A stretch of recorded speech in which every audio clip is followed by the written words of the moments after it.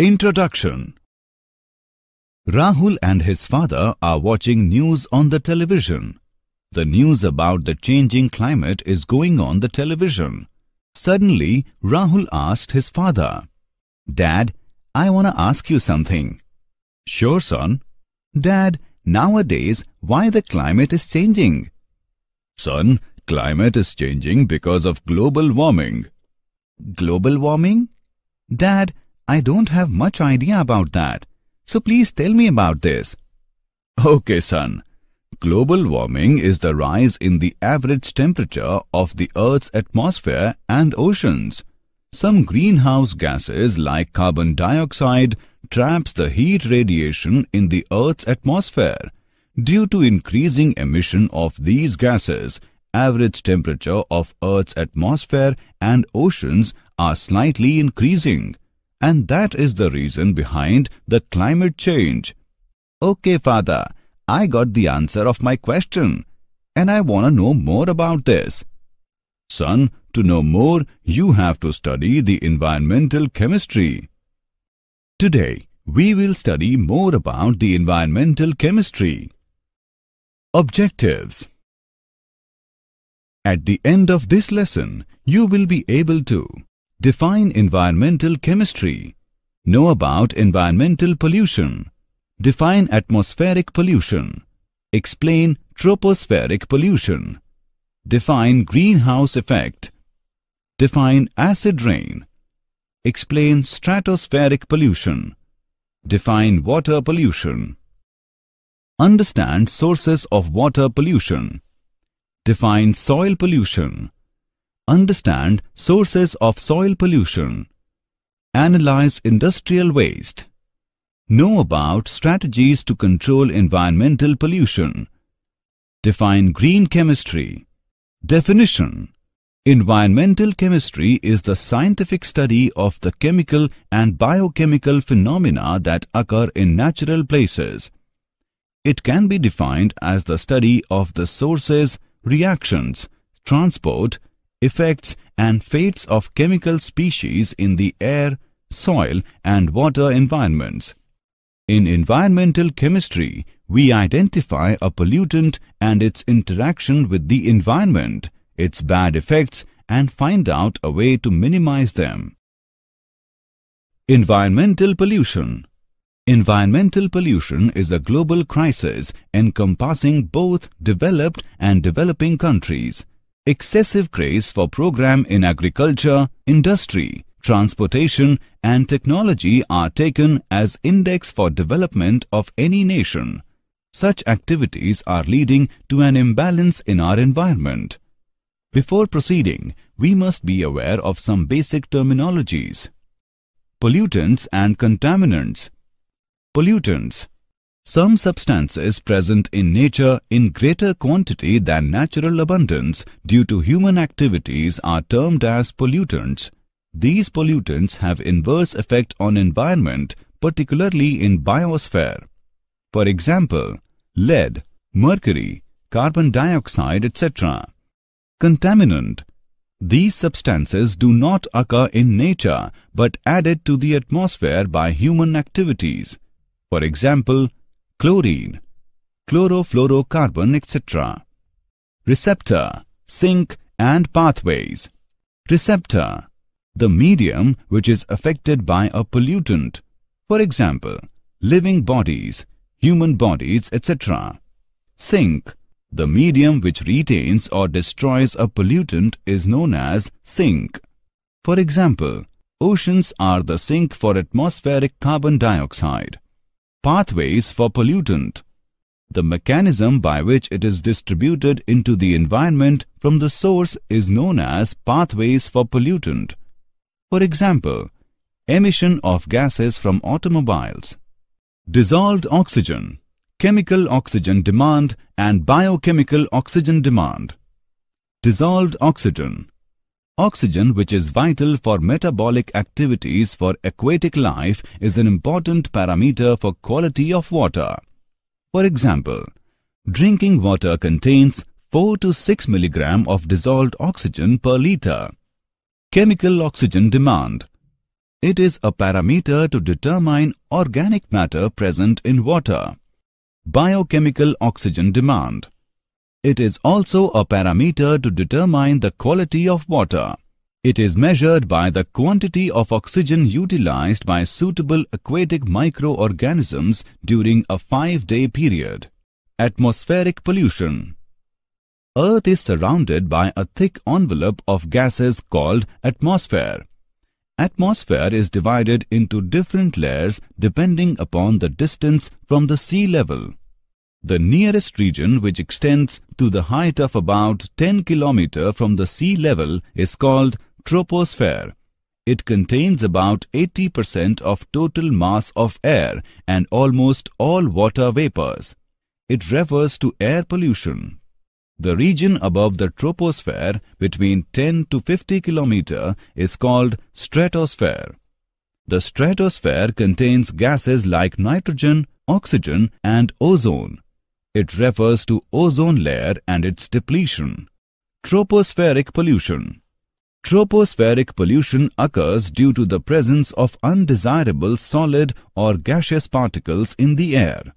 There are two types of pollutants which cause tropospheric pollution. Gaseous air pollutants and particulate pollutants. Gaseous air pollutants. These are oxides of sulfur, nitrogen and carbon, hydrogen sulfide, hydrocarbons, ozone and other oxidants. Particulate pollutants. Particulate pollutants are the minute solid particles or liquid droplets in air. These are present in vehicle emissions, smoke particles from fires, dust particles and ash from industries. Oxides of nitrogen and sulfur. Pollutants. Oxides of nitrogen. The main oxides of nitrogen which are responsible for air pollution are NO and NO2. Main source of nitrogen oxides is human activity such as burning of fuel. The main reactions are NO reacts with hemoglobin in our blood and oxygen carrier property of blood is lost. But NO2 is more harmful. Breathing of NO2 causes lung inflammation, bronchiolitis, even death. Oxides of sulfur the main source of oxides of sulfur is roasting of pyrite ores, burning of petroleum products. The main reactions are Volcanic eruption and forest fire also contribute SO2 in the atmosphere. Oxides of sulfur mainly affects respiratory tract causing severe irritations, bronchial spasm. They also form acid rains, it is most dreaded air pollutant as it forms photochemical smog. Oxides of carbon, pollutants. Carbon monoxide. Incomplete combustion of fossil fuels generates CO, particularly in blast furnace and automobiles. CO is a poisonous gas and reacts with hemoglobin present in blood producing strong complex carboxyhemoglobin. Thus, oxygen carrier property of blood is lost. High concentration of carbon monoxide in air causes respiratory problem, fatigue and even death. Carbon dioxide. Major portion of CO2 is produced during burning of fossil fuels. Atmospheric CO2 is consumed during photosynthesis, releasing oxygen. Excess CO2 in the atmosphere causes global heating known as greenhouse effect. Example on gaseous air pollutants. Let's take an example on gaseous air pollutants. The presence of CO reduces the amount of hemoglobin available in the blood for carrying O2 to the body cells. Justify the statement giving reasons. Let's see the solution. CO combines with hemoglobin of red blood cells about 300 times more strongly than O2. It forms a complex named carbonyl hemoglobin which doesn't carry O2. Thus, the O2 carrying capacity of hemoglobin gets reduced. Greenhouse effect In cold countries, plants of tropical countries are cultured in glass houses.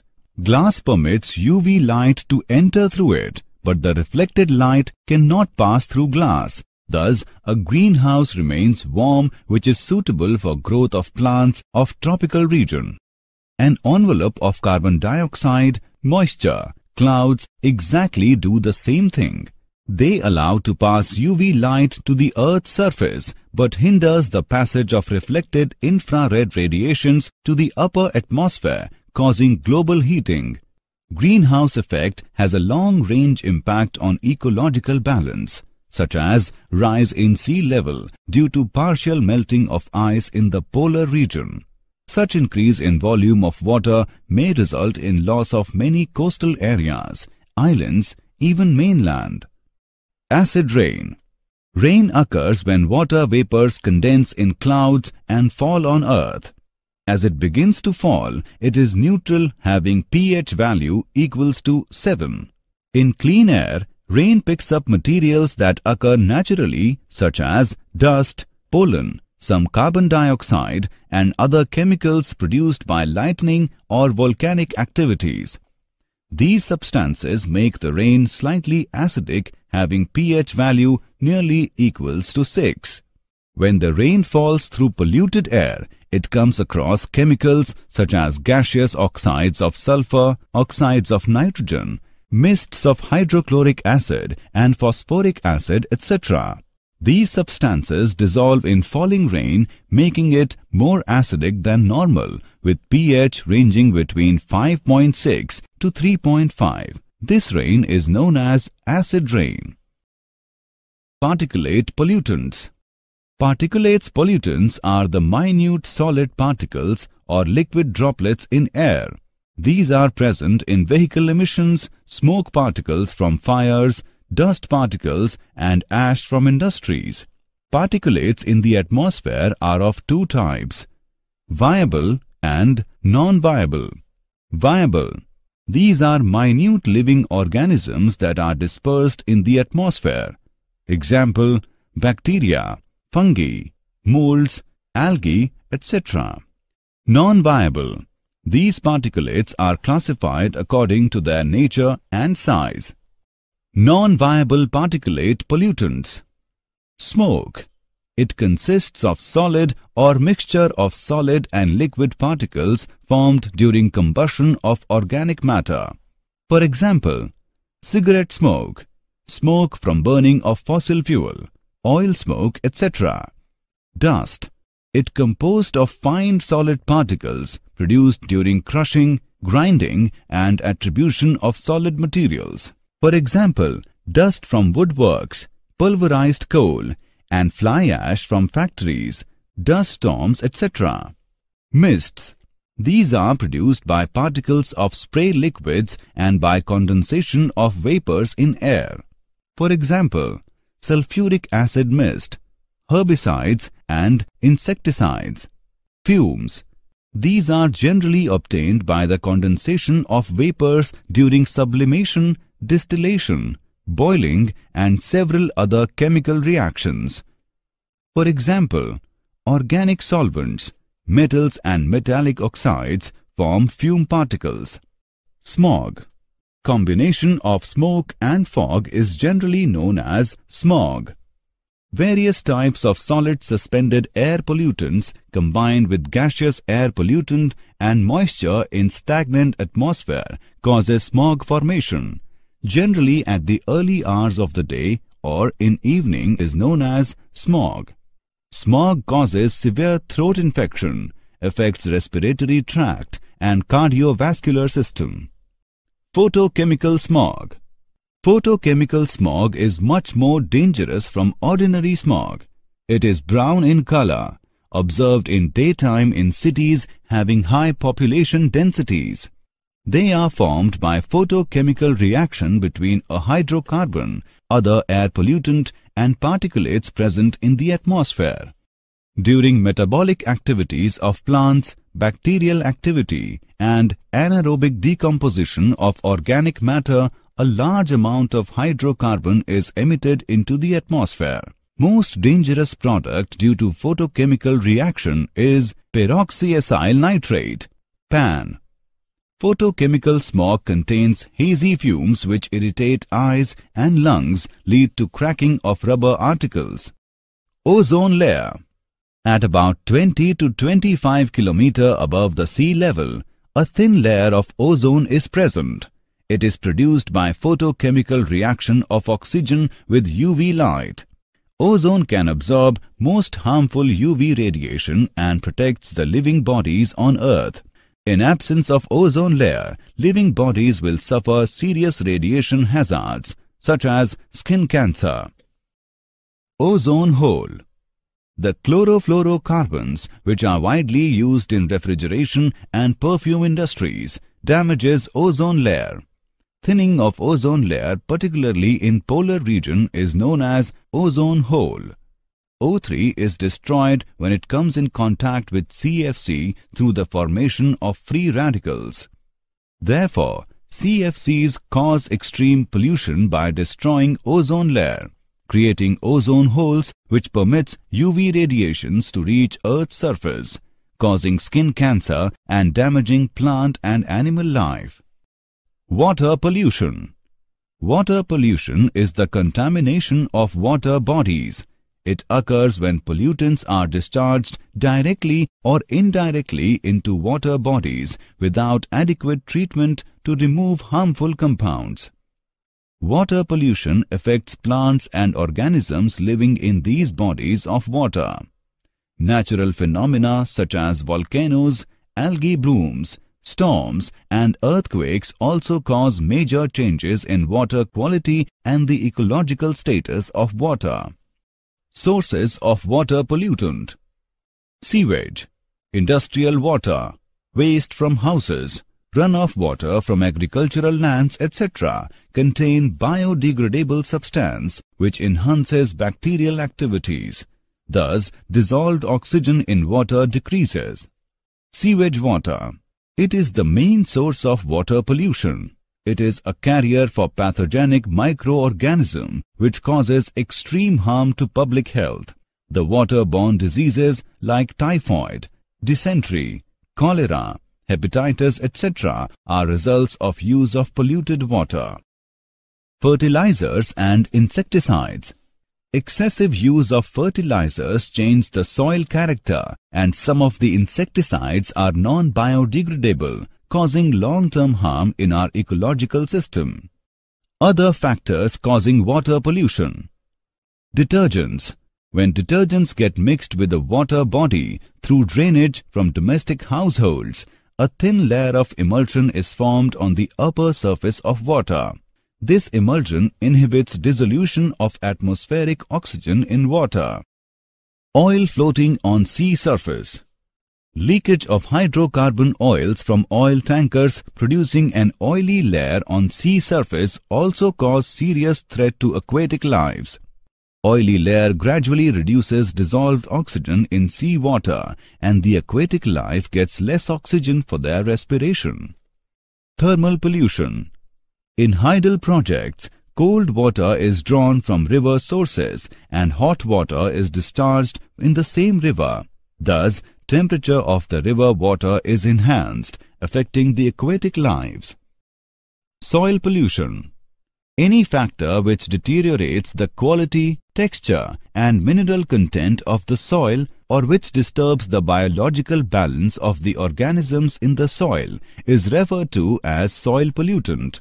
It is typically caused by industrial activity, agricultural chemicals or improper disposal of waste. The most common chemical involved are petroleum hydrocarbons, polynuclear aromatic hydrocarbons, solvents, pesticides, lead and other heavy metals. Soil pollution has adverse effect on the plant growth. Sources of soil pollution Industrial waste waste from different industries and radioactive waste from thermonuclear power station pollute soil with undesirable substances. Use of pesticides.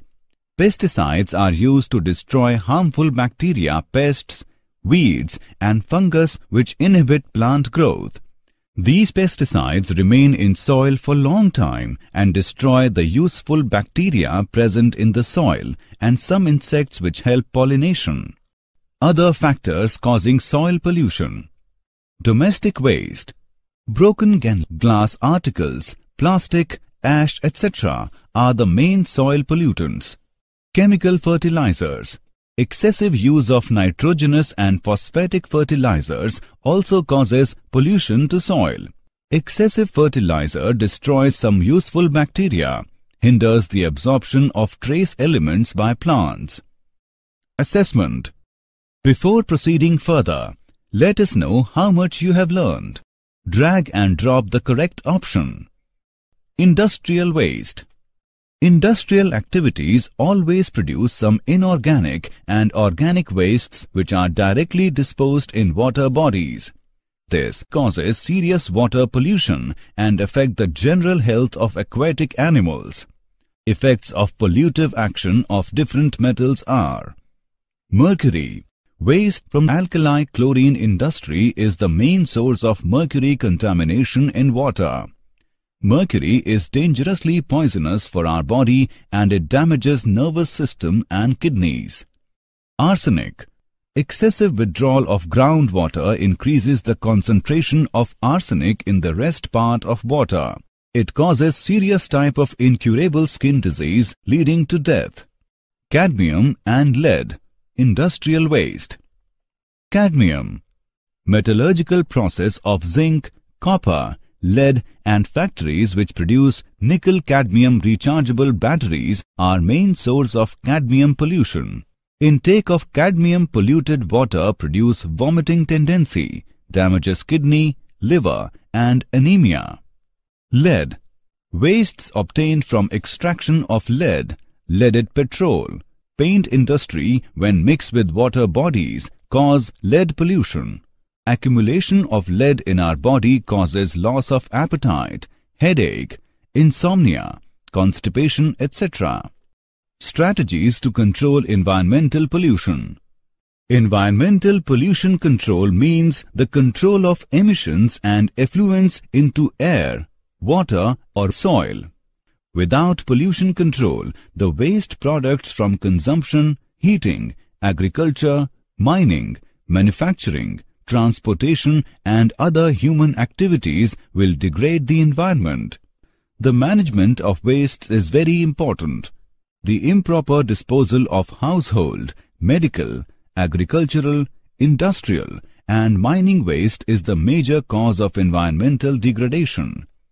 Recycling is processing of used materials into new products to prevent waste of potentially useful materials and reduce the consumption of fresh raw materials. In reuse method, to use an item again after it has been used. Non-biodegradable wastes like polythene bag, metal straps, etc. choke the sewers and cause inconvenience. All domestic wastes should be properly collected and disposed.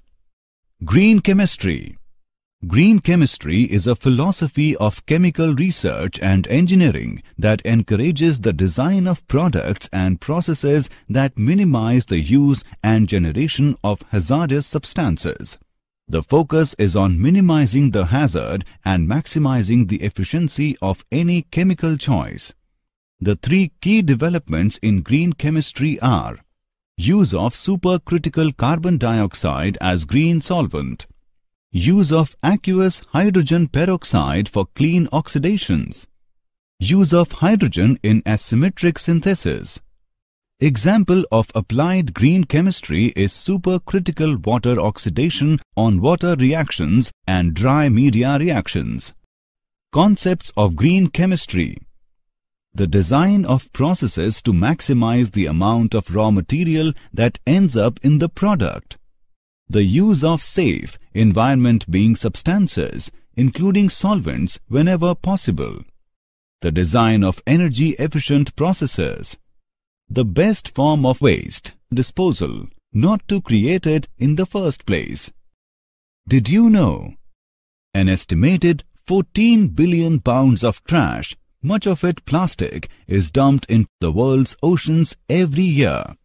Each year, there are about 250 million cases of water-based diseases, resulting in nearly about 5 to 10 million deaths. Large hog farms emit hydrogen sulfide, a gas that most often causes flu-like symptoms in humans, but at high concentrations can lead to brain damage. Engine exhaust contains more than 40 hazardous air pollutants. Summary let us summarize what we have learned. Environmental chemistry is the study of the sources, reactions, transport, effects and fates of chemical species in the air, soil and water environments. Some substances present in nature in greater quantity than natural abundance due to human activities are termed as pollutants. Chemical oxygen demand is a parameter to determine organic matter present in water.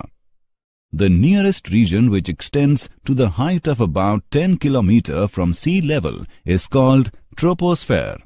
An envelope of carbon dioxide, moisture, clouds allow passing UV light to the Earth's surface but hinders the passage of reflected infrared radiations to the upper atmosphere causing global heating. Fumes are obtained by the condensation of vapors during sublimation, distillation, boiling and several other chemical reactions. Photochemical smog is formed by photochemical reaction between a hydrocarbon, other air pollutant and particulates present in the atmosphere. Any factor which deteriorates the quality, texture and mineral content of the soil or which disturbs the biological balance of the organisms in the soil is referred to as soil pollutant. Green chemistry is a philosophy of chemical research and engineering that encourages the design of products and processes that minimize the use and generation of hazardous substances.